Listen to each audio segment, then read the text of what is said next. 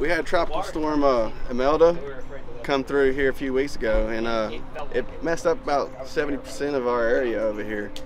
A lot of the areas that was affected, including my home, we had never flooded, not even during Harvey. It took probably two to three days for the water to subside just for people to get access back to a lot of their homes and stuff. When I came, it took me two hours to get here on a regular 25 minute drive.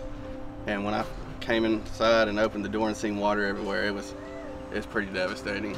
I was asleep one morning and I just rolled over and answered the phone and uh, it, the guy started explaining everything to me, got what they do and the organization and how it works and everything. And uh, it was pretty much a godsend message. I mean, I was like totally needing the help, like big time. I've been doing most of this by myself and had so much to do.